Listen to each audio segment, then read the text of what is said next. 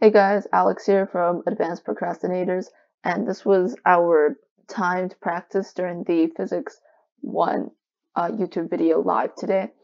And so I'm just going to be going through how I solved this question, and hopefully it will help some other people.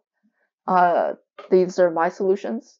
I don't know if they're completely right. They should be close. I think do make sense for me at least. So if I can at least help someone, that'd be great. I'm not going to read the entire thing because everyone else can read it. I'll link the Google Drive down below for this question. But let's just get started.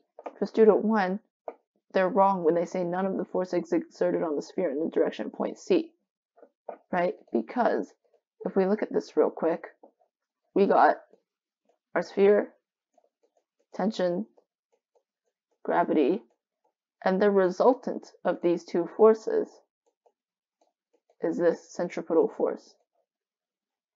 All right. Now, for student two, they say they see another problem. The vertical component must be less than the weight mg of the sphere. This part is wrong. And this part is wrong about the downward vertical component. Well, why is that? If we have, again, we'll just look at this diagram here. Uh, you know what? I'll draw another diagram mg. Oh, that was so bad. T. And T is the resultant of vertical and horizontal tension. Which means this vertical has to equal gravity. And thus, TV and mg essentially cancel each other out in the vertical direction. So we have vertical equilibrium. So the sphere should not move downward, and spheral component is the same as mg. Alright, so that's how you would do A and B. Student 3 correctly derives the equations, this and that, and explain, we have to use these equations to explain how they could challenge student 1 and student 2 over student one, if we look back at this equation right here, we can have another lovely vector diagram. We're just going to use the top part of here.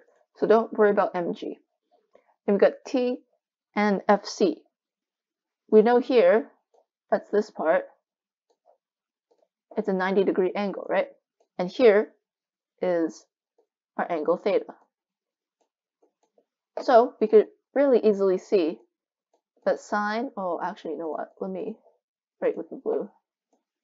That sine theta, that was like an upside down I, I'm so sorry, equals FC over T. And if we look at our diagram, FC equals L and T equals, I mean, sorry, yeah, T equals L and FC equals R. So sine theta equals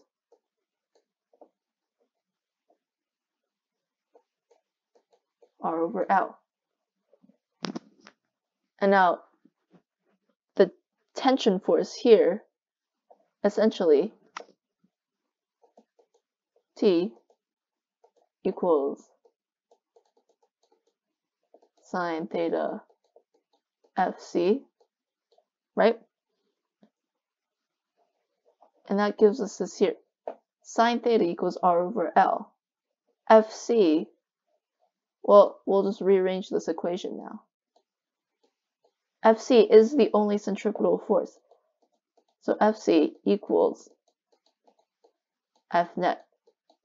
We only have FC acting horizontally on the horizontal component, right? FC is uh, the horizontal component of TH, but we'll just say right now FC equals F net. So then that's this equation now. We have F net equals T sine theta, which is R over L. And that's how we, you would use this to explain student one's claim, right? To counteract student, to student one's claim. Student 2, it's a bit more complicated and I will, uh, there's no space for me. Okay, you know what? Let's just do it. Let's change a different color.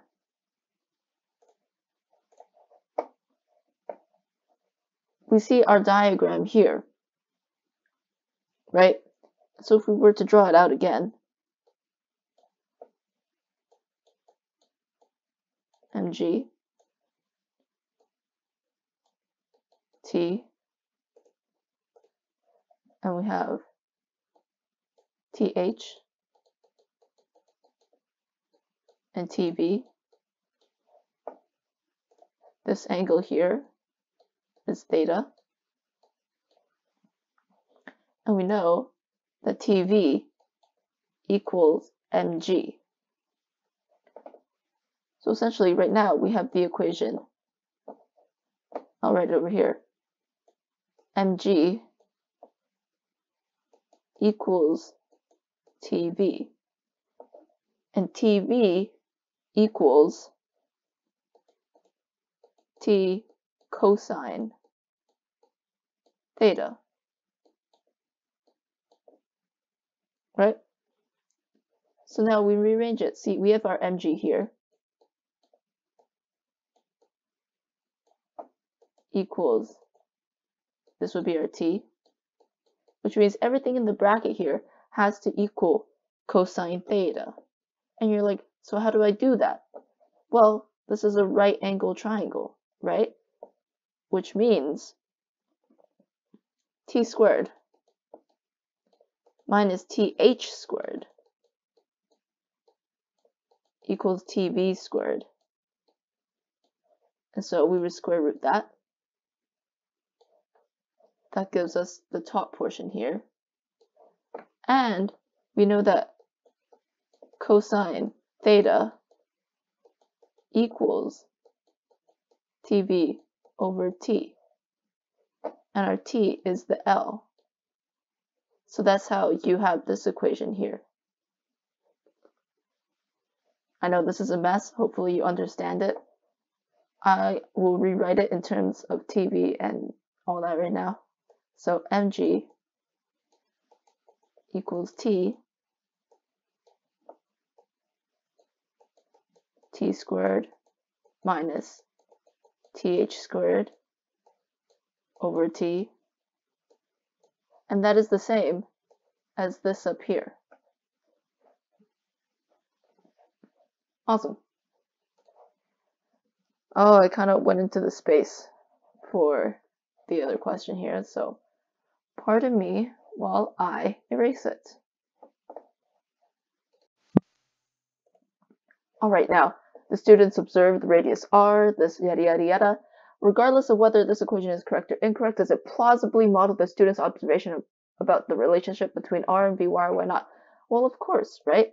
Because they said that the radius r increases as the speed v of the sphere increases. And here we can see mathematically, if r goes up, v must go up. And why is that? Because L and G are constant.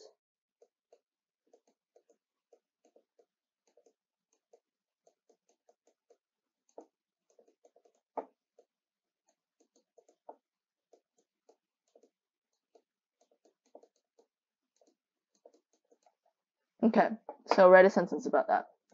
This equation does not correctly model the relationship between r and v if v is very fast. Explain why. Well, you think about it here, okay? We have a sphere attached to the length L, and it's being spun around, right? So first we have a radius r, and then as the speed gets faster, it will change so that maybe the sphere is at this point now in a circle, right? Our r is increasing. If v is very fast, well, I did say it's traveling in a circular motion, right? Because it's rotating around a fixed axis, a fixed point, which means this r right here would be the uh, maximum. And then as the ball keeps going, maybe it will go up. But the r then starts to decrease, right? So that's what you would talk about. You draw them diagrams on this test. So R eventually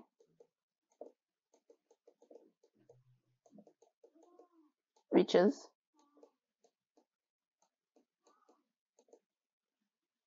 a max point. We can see up here, there's an angle, right? So you could say the angle getting bigger. Okay? That's how you would do these two questions. Oh, you could also say, because we have a roof here, the sphere can't really go higher anymore. So it's going to be stuck at this R max while it's spinning. That and it's not dependent of how fast it's going anymore. All right. Let's go here now. Instead of moving in a horizontal circle, the sphere now moves in a vertical plane, so it's simple. Uh, so it's a simple pendulum, as shown above. The maximum angle theta max, the spring. The, I, why do I keep saying spring? Oh, that the string from the vertical can be assumed to be small. Blah blah blah blah blah. Okay, so here's our graph. Explain how the graph would change under each of the following circumstances to justify your answers. Well, first, we essentially have a trend line like so. If the mass of the sphere is increased, we have an increase in EK, which means an increase in speed. Uh, what did I do that? Which means an increase in speed. And You're like, well, if it's an increase in speed, then wouldn't it go higher? Well, we're only dropping it from this, right? So right now you have a faster speed. Your time should go faster. Since distance would be the same. So your graph is anywhere here. If the maximum angle theta max is decreased, well, we have, okay, for, for this one, first of all, I forgot to mention, just say there the there's a less steep positive slope.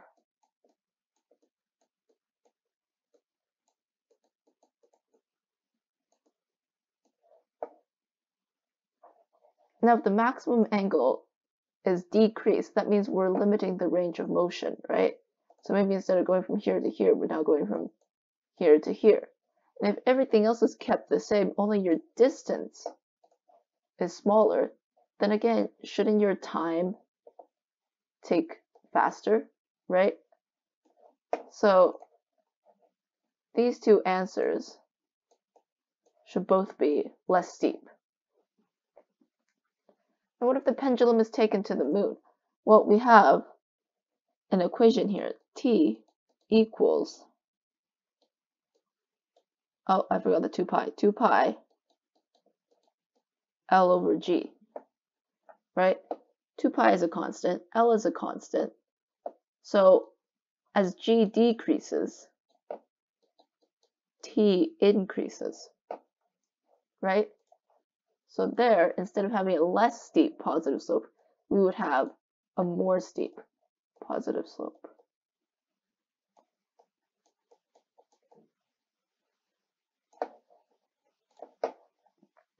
All right, that's how I took a look at this question. Now here, the graph shows the angle theta from the vertical as a function of time, blah, blah, blah, blah. Explain how this graph shows evidence of a net force acting in the sphere and how it shows that this net force is a restoring force. Well, we can see that the, dis the displacement is being restored, right? It's going from one to the other to the next. And there's no constant slope.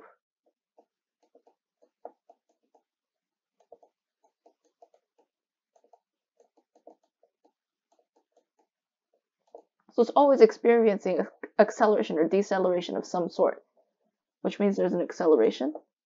And acceleration means there's a force, right? And so you could just say net force because there's an acceleration, that means there's a force. And this net force is a restoring force because it's restoring the displacement. As the sphere swings back and forth, the, the torque. This one, don't think too much about it. This one, you got to think of this as it's traveling from right to left and from left to right, right? As shown in the diagram. So with the sphere is at its maximum rightward displacement, that means it's already starting to travel to the left. And that means from here to here, it must be the same, right? Because it's still in its range of motion before it hits maximum left. So here, it's still going clockwise.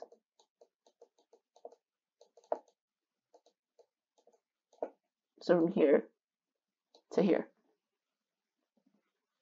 They say briefly state why. Well, at the maximum displacement, this is your maximum value, right? It's already rotating. Well, it's already starting to swing back to the left. So at its maximum rightward displacement, it's changing from counterclockwise to clockwise, right? So all you need to do is state that there's a change from counterclockwise to clockwise, as shown in the diagram. And yeah, that's how I took a look at these questions today.